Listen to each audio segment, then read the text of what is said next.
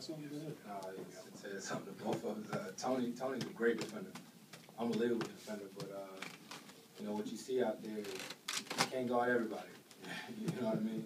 You can't guard Jamal, me, and and Chunks. You know what I mean? So uh, what what he does out there is, is is a game changer. You know, we just try to keep him off balance and give him different looks. Blake, you scored more in the first quarter tonight than you did in game one. Can you talk about your mentality entering tonight's game? just to be aggressive. Um, you know, last game I felt like at, at times I, I you know passed up so many open looks and you know here and there. Um, but just to be aggressive, take open shots, and, and make sure I crash out the offensive glass. And um, you know, like I said earlier, my teammates did a great job of, of spacing the floor, you know, giving me the ball in easy positions and, and just you know, kind of finishing. Couple more questions. We'll go over here, Steve. Me. Stephen Lieberman, Call Three Observer. Blake, uh, just talk a little bit about what it takes to go up against Zach Randolph and, and how you thought you did. Uh, you know it's going to be a physical game. That's that's his MO. That's what he like, likes to do. He loves when the games are physical. Um, so you got to you know you got to account for him at all times. Keep a hand on him. Know where he's at. You know when the ball goes up, he's going to pursue the ball every single time. So um, you know my job is just to you know not necessarily get the rebound, but take him out of the play.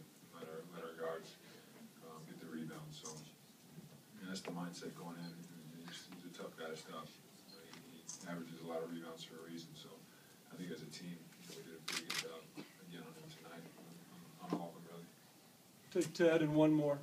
Blake, uh, you guys had franchise best ten blocks tonight. Describe what the heck was going on out there. I mean, that's pretty impressive stuff. I mean, it was a team thing. It really was. I mean, Eric Bledsoe, you know, blocked some of the most unbelievable shots on our team, and it is fun for us to, to see that. Um, you know, a couple of times Evo was driving and, and you know, Ronny would slow him down or Elo would slow him down, somebody would, you know, come from the backside and block him. DJ was a monster around the rim blocking shots. And that's what it takes to win games.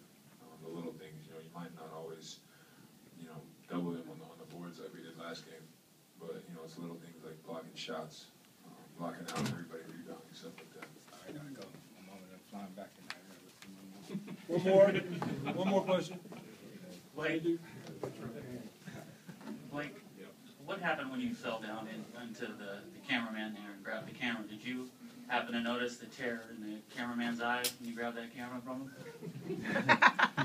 He, wait, you said, What? did, you see how, eye? did you see how scared he was Oh, when you had didn't that camera? eye tore. Uh, No, I didn't, I didn't have terror. I didn't, I didn't really have a chance to, to get his, get a look at his face, but, um, I, I checked on him afterwards and he seemed like he was okay, but his camera was in a couple pieces, so. Did you Trying to wrap it to up. Your, your left there? Mark, No, the, like the cord just got Yes. caught on my finger, that's why I was like holding it. Make it good. No Blake, pressure. When you brought Chris over, when when Chris came over here, are these the moments that you envisioned, the kinds of shots, the kinds of games, maybe the thing that was missing with this team, and now you have a guy like that? I mean, he's, he's, you know, in, in our mind, one of the best closers in the game. You know, he does it night in, night out, and he does it for us. But, you know, our thing, I I said to, to some guys in the locker room, that was a great win, and, and C, that was an unbelievable performance by CP down the stretch, really the whole game. But we can't put him in that kind of situation. You know, we were up twelve, and we were up seven with four minutes, whatever it was, you know, and, and, we gotta, we gotta play a little bit better and, and be more aggressive and not, not so much, you know, kind of hold back and then try to maintain a lead, but extend it. Thank you, everyone. Thanks, gentlemen.